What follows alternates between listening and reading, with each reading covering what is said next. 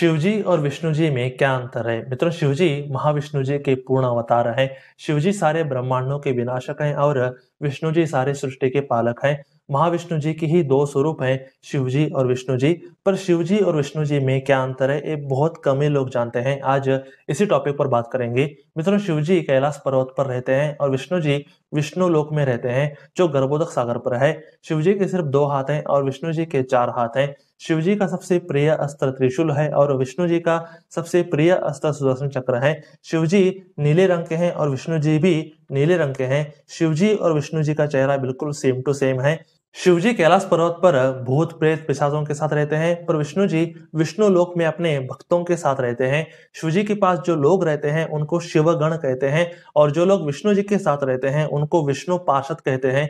शिवजी कैलाश पर्वत पे सिर्फ़ एक पत्थर पर बैठे रहते हैं, और कभी कभी वे अपने गणों के साथ पर्वत पर विहार भी करते हैं। विष्णु जी विष्णु लोक में एक बड़े से महल में रहते हैं, और अपने ही लोक में विहार करते रहते हैं। शिव जी का सबसे प्रिय वाहन नंदी है, जो उन्हीं के अवतार हैं। विष्णु जी का सबसे प्रिय वाहन गरुड़ है, जो उन्हीं के विभूति है। शिव जी का नेचर शांत रस वाला है।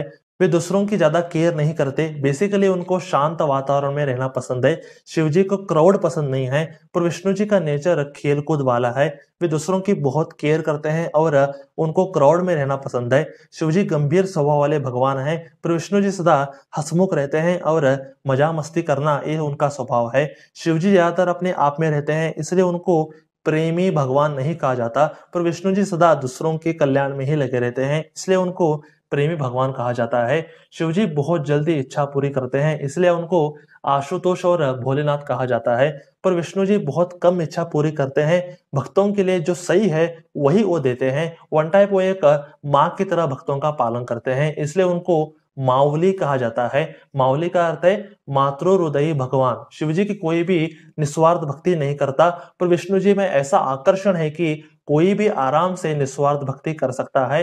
जो लोग शिव जी की निस्वार्थ भक्ति करते हैं, उनको सदाशिव वैकुंठ प्राप्त होता है, और जो लोग विष्णु जी की निस्वार्थ भक्ति करते हैं, उनको विष्णु वैकुंठ प्राप्त होता है। शिव जी का सबसे प्रिय मंत्र शिव नाम है, और विष्णु जी का सबसे प्रिय मंत्र नारायण नाम है। अगर कोई बड़े मंत्रों को जपना चाहता है तो शिव भक्त ओम नमः मंत्र का जाप करें और विष्णु भक्त लक्ष्मी नारायण मंत्र का जाप करें। अगर आप शिव जी के सबसे प्रिय दास बनना चाहते हैं तो आप शिव पार्वती मंत्र का जाप करें। अगर आप विष्णु जी की प्रिय दास बनना चाहते हैं तो आप लक्ष्मी नारायण मंत्र का जाप करें।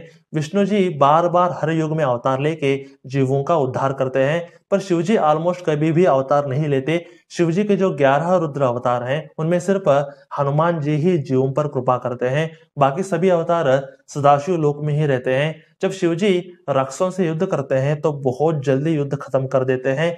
पर जब विष्णु जी राक्षसों से युद्ध करते हैं तो वे बहुत देर तक खेलते हैं और बाद में युद्ध खत्म कर देते हैं। शिव जी युगो युगो तक ध्यान करते हैं। पर विष्णु जी साल में सिर्फ़ चार महीने ही रश लेते हैं। शिव जी कभी कभार नंदी पर बैठते हैं, पर विष्णु जी हमेशा शेषनाग पर ही बैठे रहते हैं। ऐसे मित्रों शिव जी और विष्णु जी, महाविष्णु जी के ही पूर्ण अवतार होने पर भी इनमें बहुत अंतर देखे जा सकते हैं। भगवान के गुण अपने आप में ही कितने अलग अलग हो सकते हैं, ये हम समझ सकते हैं। जिनको शिव जी पसंद है, वे उनकी ईमानदारी से भक्ति करें, और जिनको विष्णु जी पसंद है, वे उनकी ईमानदारी से भक्ति करें।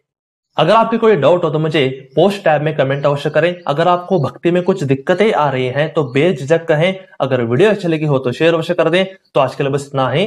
हरे कृष्ण हरे कृष्ण कृष्ण कृष्ण, हरे हरे। हरे राम हरे राम राम राम, हरे हरे। दोस्तों, हम हमेशा सनातन धर्म के बारे में ऐसे ही गुप्त ज्ञान हमेशा लाते रहते हैं। अगर आपको ये वीडियो अच्छा लगा हो तो आप क्या कर सकते हैं? आप इसे लाइक कीजिए, आप इसे शेयर कीजिए अपने दोस्तों के साथ, अपने परिवार वालों के साथ, अपने रिश्तेदारों के साथ ज़रूर शेयर कीजिए। और थर्ड बात क्या है कि आप सब्सक्राइब ज़रूर कीजिए, क्योंकि आपको ऐसे ही बेहतरीन कंटेंट हमेशा इस चैनल से हमेशा मिलती रहेंगी। इसे आप क्या कीजिए, ज़रूर सब्सक्राइब कीजिए। तो stay blessed stay awesome and को सेल्फ मेड